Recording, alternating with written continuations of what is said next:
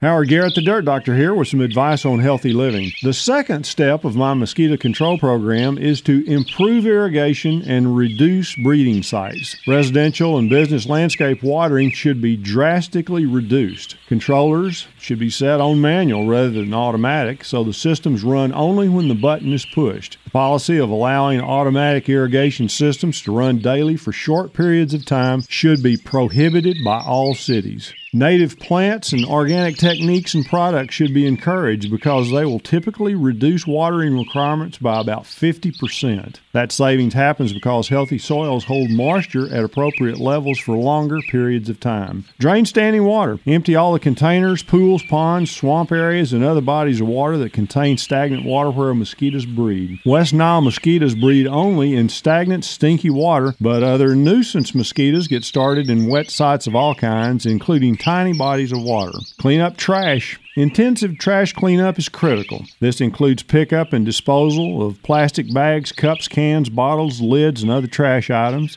Automobile junkyards are a particularly serious problem. Old tires are specifically a major problem.